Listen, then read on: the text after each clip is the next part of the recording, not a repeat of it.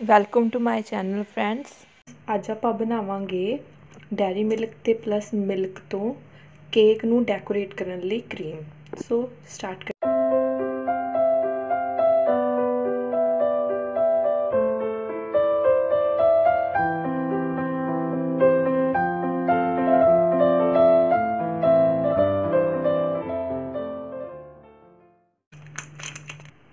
ਹੁਣ ਆਪਾਂ ਇੱਕ ਪੈਨ ਲਵਾਂਗੇ। ਉਹਦੇ ਵਿੱਚ ਮਿਲਕ ਪਾਵਾਂਗੇ ਥੋੜਾ ਜਿਹਾ ਮਿਲਕ ਪਾਣਾ। ਹੁਣ ਆਪਾਂ ਚਾਕਲੇਟ ਦੇ ਸਮਾਲ ਪੀਸਸ ਮਿਲਕ ਵਿੱਚ ਐਡ ਕਰਾਂਗੇ। ਹੁਣ ਇਹਨੂੰ ਮੀਡੀਅਮ ਫਲੇਮ ਤੇ ਪਕਾਵਾਂਗੇ।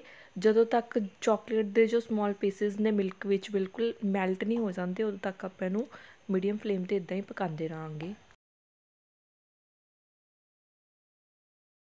ਤੁਸੀਂ ਦੇਖ ਸਕਦੇ ਹੋ ਜੋ ਆਪਣਾ ਚਾਕਲੇਟ ਆ, ਉਹ ਮਿਲਕ ਦੇ ਵਿੱਚ ਮੈਲਟ ਹੋਣਾ ਸਟਾਰਟ ਹੋ ਚੁੱਕਿਆ। ਇਹਨੂੰ ਇਦਾਂ ਹੀ ਮੀਡੀਅਮ ਫਲੇਮ ਤੇ ਪਕਾਉਂਦੇ ਰਵਾਂਗੇ।